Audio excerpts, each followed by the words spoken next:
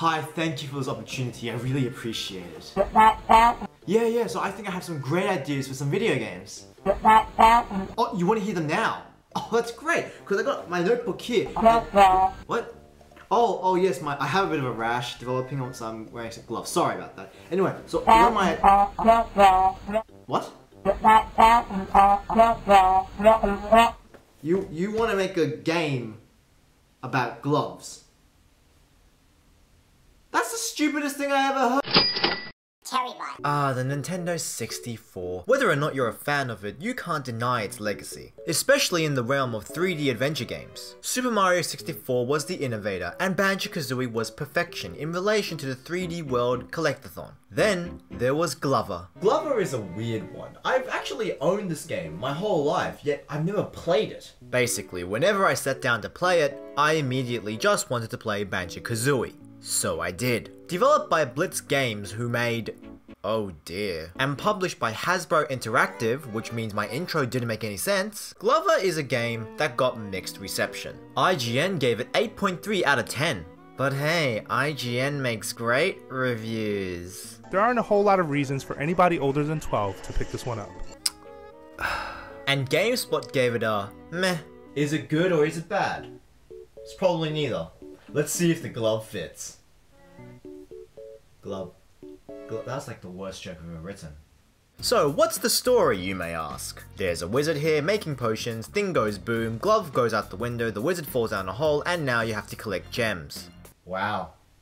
Brief. I have far too many questions to ask about this intro. Ladies and gentlemen, let's do a countdown. Number 10. Who is this man? I mean, I know he's a wizard and all, but what's his goals? What's his ambitions? Number 9. Why did his hands fly from his wrists so easily? Number 8. Why would you throw the containers of liquids in the potion as well? Doesn't that kind of defeat the purpose of a container? Number 7. Were the hands sentient to begin with? And if so, why do you need to wear them? Number 6. How the hell are the gloves sentient in the first place? Number 5. What's up with the wizard's beard? It looks like you can impale somebody on it. Number 4. What does the evil glove cross stitch want to do? I mean, he threw some crystals around and made things red. Number 3. What are these hats? They have eyes? Why are they squinting at me? It scares me. Number 2. What do the crystals actually do? And the number one question about this introduction is why does the wizard have two right hands? Play me on!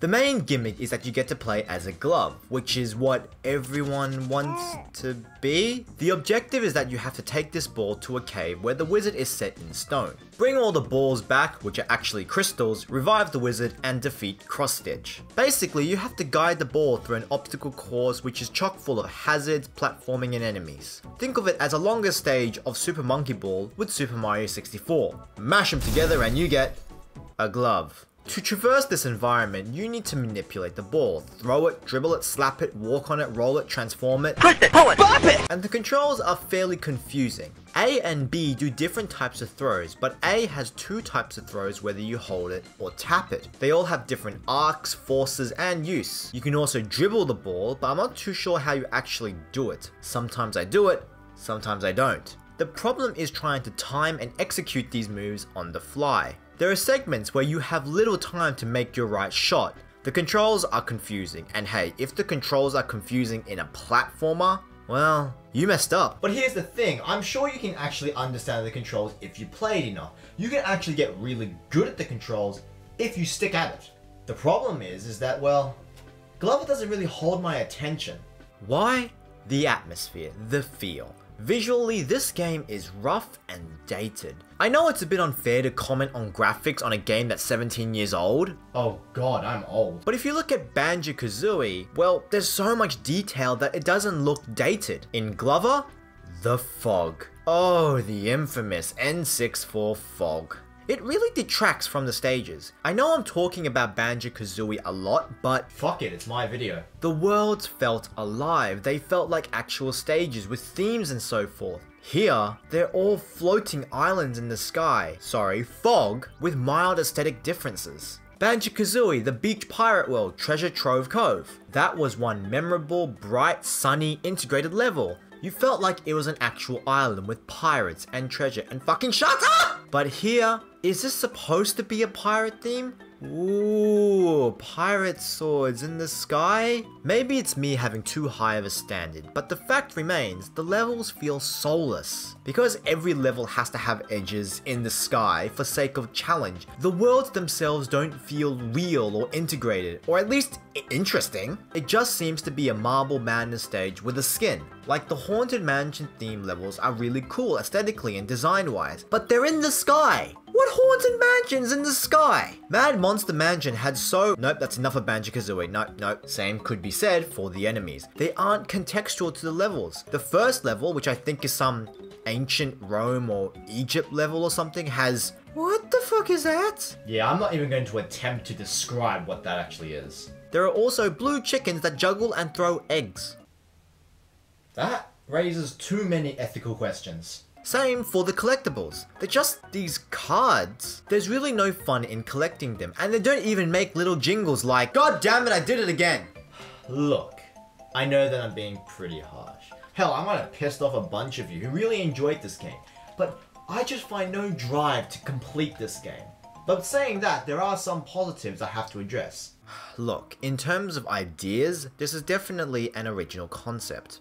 The idea you have to control a ball that's independent to you is pretty cool, throwing it, manipulating it, and using it to attack. Granted, they aren't perfect, but they tried. By pressing R, you can change the crystal into a bouncy plastic ball, a heavy bowling ball, and a small metal ball, all with their different properties. For instance, the bowling ball can take more abuse and can stun enemies, although sometimes it just breaks. The metal ball is easier to control and is magnetic, and the red and yellow ball, which you use most, you can bounce. And guiding the ball through these levels does feel like an accomplishment. They're even needed to defeat the bosses.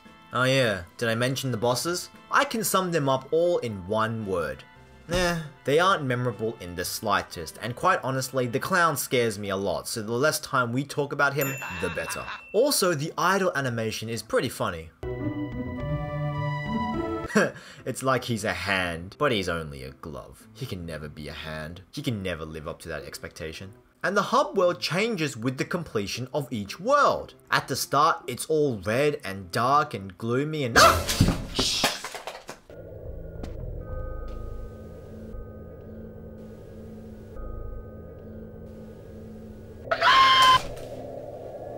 Jesus. Yep, those are definitely spikes coming out of a tent wall in a circus. Yep. Oh yeah, in this 3D platformer, one where you have to jump from high ledges to another, you have fall damage. They actually put falling damage in the motherfucking- Oh wait, that joke was already done. As you can see, I really just couldn't get into Glover. It's too slow and patient for my tastes. And to me, this game is a matter of personal preference. Glover requires patience and slowing down and really thinking about what your next line of action is. But unlike MGS, where you are actively avoiding combat to make sure you survive, here, it's a fucking ball. You kind of lose the impact. That doesn't excuse the fact that the worlds are boring, and to add salt to the wound, Glover runs so slow. Getting from one world to the next is an ordeal. Oh, there's a cartwheel, but that makes you go even slower, so you can't just... I can't knock on Glover for being a terrible game because it's really not a terrible game. It's average. The ideas were good. It's just that they weren't executed very well. I don't know. Maybe it's just me. I mean, I didn't grow up with the game, so I'm not really sure what someone sees in it who did grow up with this game, but I don't know. I just rather play Banjo-Kazooie or something. It's not good, it's not bad, it's just average. And that's all I can see in it. I can't see the best. Sorry, guys.